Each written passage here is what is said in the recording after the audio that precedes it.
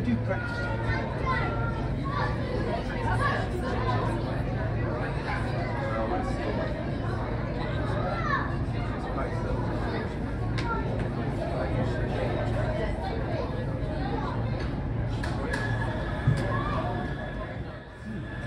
can't see is obviously the size of